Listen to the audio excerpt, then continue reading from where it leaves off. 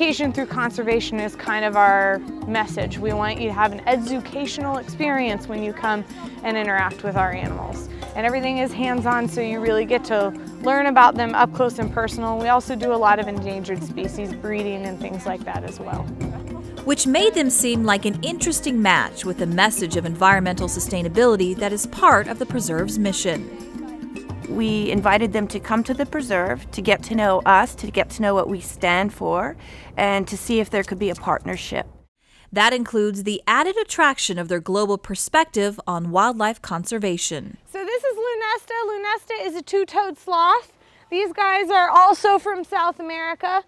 The Springs has our native species covered. You can learn all about everything in southern Nevada, but these animals, even though they might not be from here, there's a lot we can do here in southern Nevada to, you know, further the species and help these guys out in the wild. They've done their part by giving all kinds of wild things a home and some hope at their zoo in Moapa. Now they're sharing these species with us here at the preserve. Some of them are imported. The armadillos were actually imported from the wild. Um, there was nine left in captivity, I believe, and Paraguay decided, okay, we probably need to do something about this because uh, they're not living in the wild as well, and maybe we need to start some sort of captive breeding program. So they allowed for the importation of some of their armadillos back into the United States. And we also are one of the only places that can breed the brush-tailed bettong, which is a small species of kangaroo. And we also breed ring-tailed lemurs while this captive breeding program is essential to their survival, it's seeing and being with these animals that will make audiences into believers about the need to save them. You'll be able to come and learn how to pet a porcupine.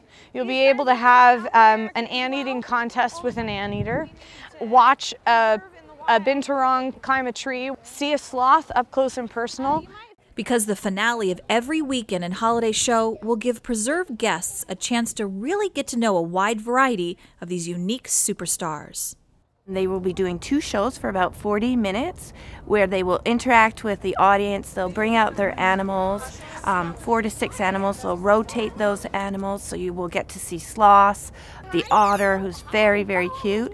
And then if the audience would like, they can go afterwards and have a more intimate one-on-one with, with the animals. Even the experts at the preserve were as enchanted as the kids by their interaction with all these rare species. We were able to get a preview of what the show is going to look like, and honestly, people have never seen any of these animals, but then to touch these animals and then to have the animals climbing a sloth hanging upside down on the bars going down into the amphitheater or the otter running around and just, you know, holding it to see the armadillos. People were laughing, people were so engaged.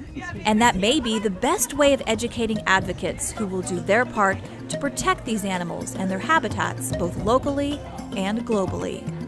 It's up to us to learn as much as we can about these animals. You may not be able to go to South America and crusade to save the rainforest, but if you learn about these animals here, then we can know what we need to do to save them there.